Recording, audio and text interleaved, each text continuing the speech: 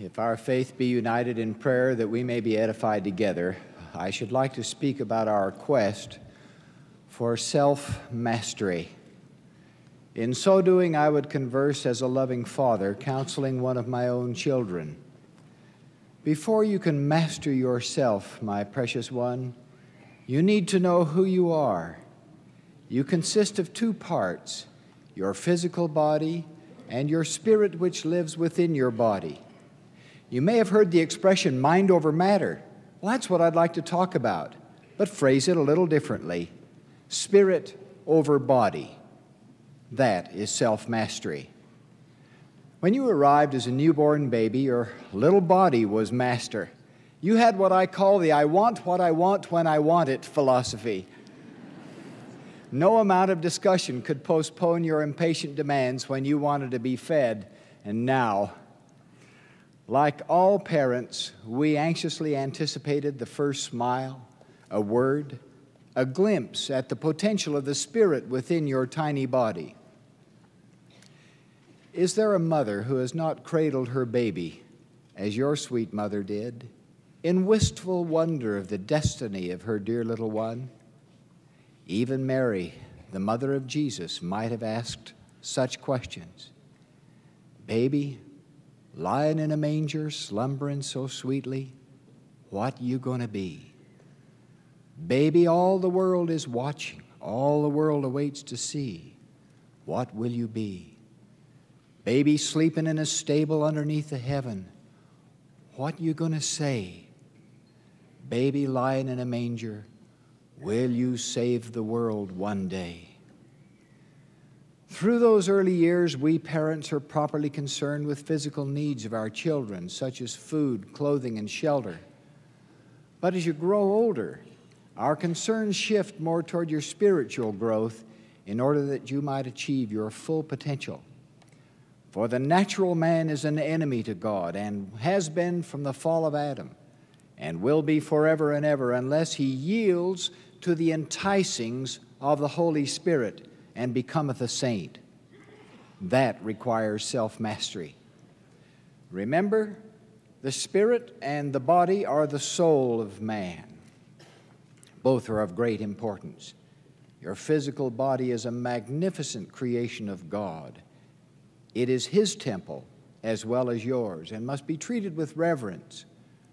Scripture declares, Ye are the temple of God if any man defile it, him shall God destroy, for the temple of God is holy, which temple ye are. Remarkable as your body is, its prime purpose is even of greater importance to serve as tenement for your spirit. Abraham taught that these spirits existed before, they shall have no end, for they are eternal.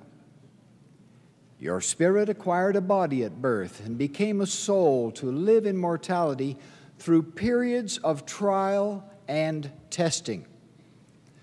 Part of each test is to determine if your body can become mastered by the spirit that dwells within it. Although your spirit had a veil of forgetfulness placed over it at the time of your birth in immortality, it retained its power to remember all that happens, precisely recording each event of life. Indeed, Scriptures warn that every idle word that men shall speak, they shall give account thereof in the day of judgment. Prophets refer to our bright recollection and perfect remembrance at that day of decision. Since thoughts precede deeds, you must first Learn to control your thoughts. As a man thinketh in his heart, so is he. In your quest for self mastery, full participation in the activities of the church will help. I'll mention but a few. A first step comes as we learn together to keep the Sabbath day holy. This is one of the Ten Commandments. We honor the Sabbath to pay our devotions unto the Most High and because the Lord declared it is a sign between me and you, that ye may know that I am the Lord that doth sanctify you. Another step toward self mastery comes when you're old enough to observe the law of the fast. As funds are contributed from meals missed, the needs of the poor may be met. But meanwhile, through your spirit, you develop personal power over your body's drives of hunger and thirst.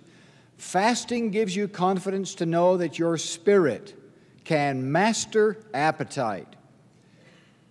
Some time ago, your mother and I visited a third world country where sanitary conditions were much poorer than ours. We joined with a delegation of other doctors from all over the world. The president of our group, an experienced traveler, warned of risks.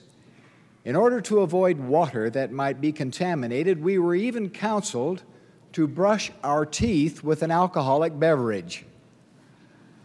But we chose not to follow that counsel, but simply did what we'd learned to do once a month.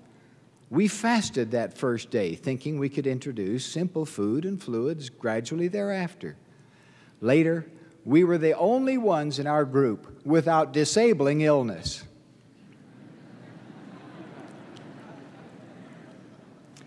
Fasting fortifies discipline over appetite and helps to protect against later uncontrolled cravings and gnawing habits. Another step towards self mastery comes from obedience to the word of wisdom. Remember, it contains a promise adapted to the capacity of the weakest of all saints.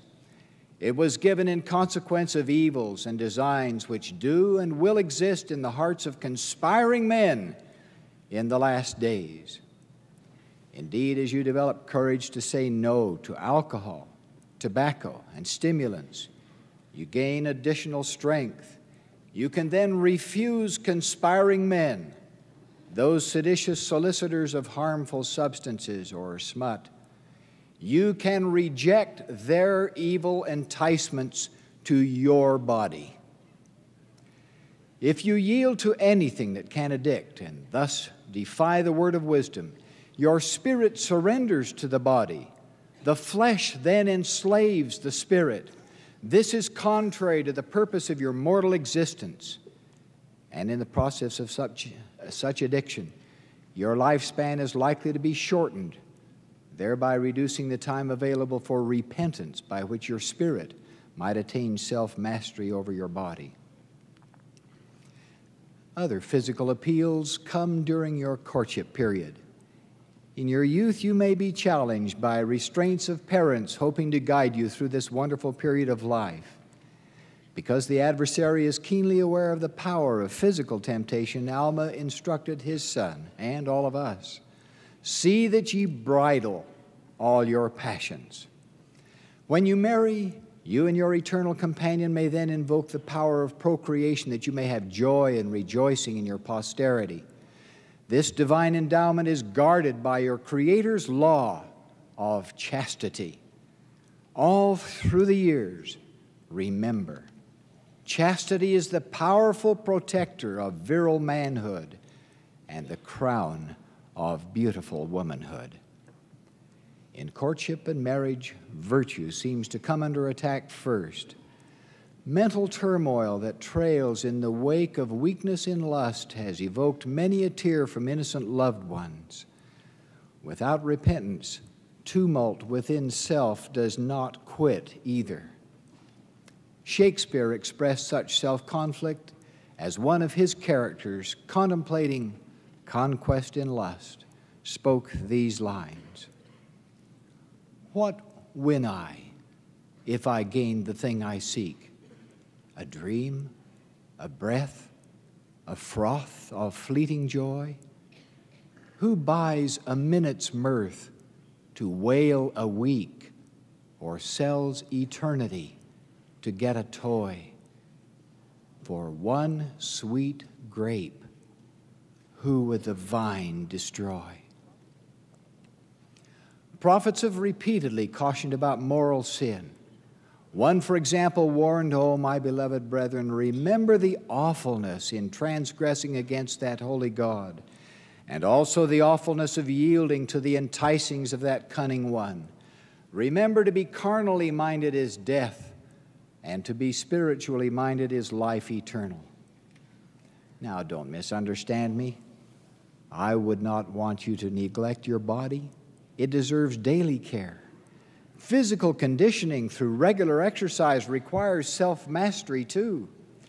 I marvel at Elder Joseph Anderson, now in his 96th year. For decades, the strength of his spirit over his body has induced him to swim regularly. But his motivation has never been to attain physical longevity. That's come only incidentally. His desire has been to serve God and His anointed. Elder Anderson has followed what I label as the Lord's prescription for a long and useful life. Those faithful in magnifying their calling are sanctified by the Spirit unto the renewing of their bodies. They become the elect of God. Elder Anderson's exercise program agrees with the perspective of Paul, who said, Bodily exercise profiteth little, but godliness is profitable unto all things, having promise of the life that now is and of that which is to come. Handsome and fit, Elder Anderson personifies this scripture glorify God in your body and in your spirit, which are God's. Now, as you work during the productive years of life, whether at home or in the field, in the factory, or at a workbench, reputation is built and character is forged as you develop self mastery. Faithful payment of tithing is part of that process. It defends you against dishonesty or shabby temptations. Courageous accountability for your own actions becomes a cherished prize. It really matters what you listen to, what you look at, what you think, say, and do.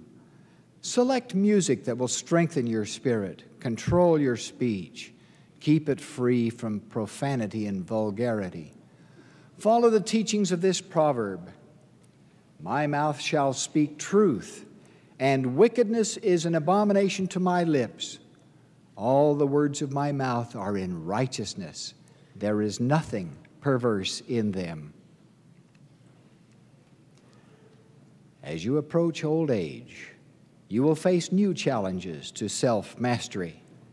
Symptoms of the deteriorating body can be painful, even disabling. Deep aches of sadness are caused by the departing of loved ones. For some, these deepening trials come early in life, but when yours are thrust upon you, remember a concept expressed by my father some time after my mother had passed away.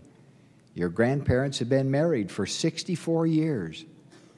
When someone asked how he was doing, my father simply stated, I'm lonely, but I'm not lonesome. Do you know what he meant? Though he was now without a sweetheart, he was so busy assisting family and friends, he had replaced sorrow with service and had displaced self pity with selfless love. He had found joy in following the timeless example of the Master.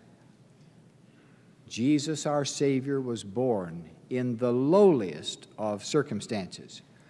For his baptism, he was immersed in the lowest body of fresh water upon the planet. In service and suffering, he also descended below all things that he could rise above all things. Near the end of his life, he triumphantly declared, I have overcome the world. Look to me and endure to the end, and ye shall live. For unto him that endureth to the end will I give eternal life. Scriptures tutor us at least 26 times to endure to the end to attain eternal life. Then we will obtain a resurrected body, one that is incorruptible, glorified, and prepared to live in the presence of God. To reach your highest destiny, emulate the Savior. He proclaimed, What manner of men ought ye to be? Even as I am. Our loftiest hope is to grow in spirit and attain the stature of the fullness of Christ, that we henceforth be no more children.